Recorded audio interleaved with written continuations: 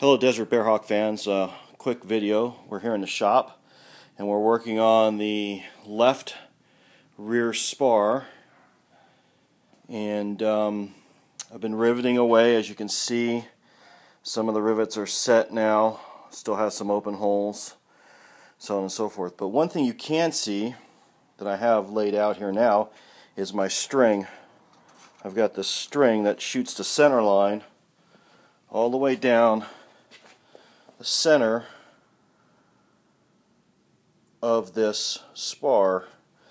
And um, what's important about this string, or the reason I'm shooting this video tonight, is because I was riveting away, and I and I used the uh, the uh, random rivet method. In other words, I'll rivet one down at one end, then I'll rivet one maybe in the middle, one down at the other end. I skip around, and the reason that I do that is is that you don't want to rivet all your rivets in a row like these because you'll have a tendency to cause your structure to um, deform. And the reason that happens is, is that as the rib rivet is pounded down into the hole, the rivet here, the shank of the rivet expands in the hole and it fills up that hole. And it puts pressure on the hole and the material around it, trying to force it away from the rivet as it expands.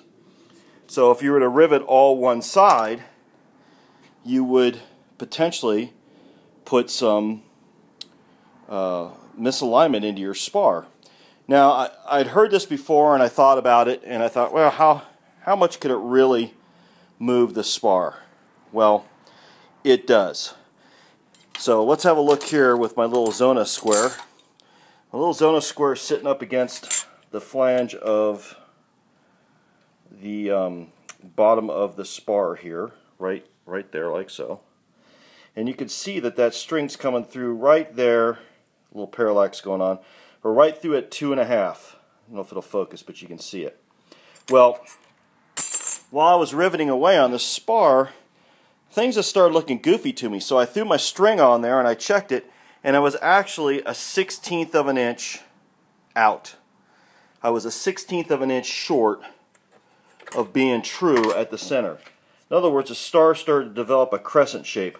It started to bow towards the bottom of the spar.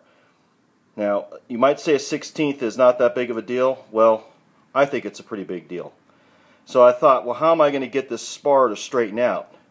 And then uh, I remembered the discussion about how if you rivet a bunch of rivets in line, you could induce a bow. Well, I thought if I riveted all the rivets along the top of the spar, it'll expand the top out and thereby bow the top up, which will move the bottom up, which will move me back into plumb. And that's exactly what I did. And as you can see now, like I said earlier, I was a 16th out from two and a half. Where's my scale? You can see I'm right on two and a half there. If I come down to the root,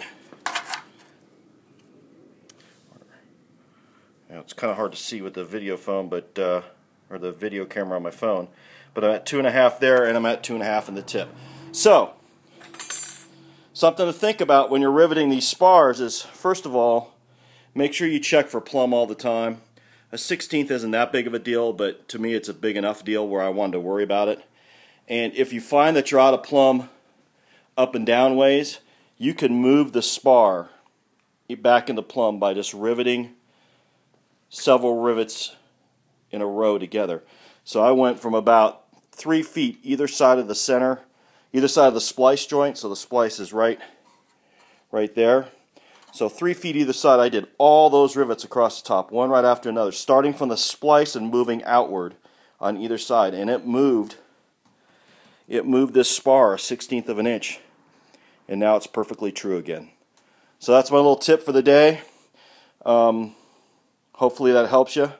I know some people are probably saying, well, once you rivet the ones on the bottom, it's just going to move it back the other direction. Well, that may be, but I've been checking it pretty regular now as I rivet along and it is staying pretty perfect to, to true. So hopefully in the next day or so I'll have this done. I got to knock off for the night because that pounding drives my neighbors crazy. But uh, hopefully by, I would say Friday, what's it, Tuesday? Yeah, by Friday this this spar will be complete and it'll be straight. Straight as a string. Right there you see it. Alright, till next time, see you in the shop.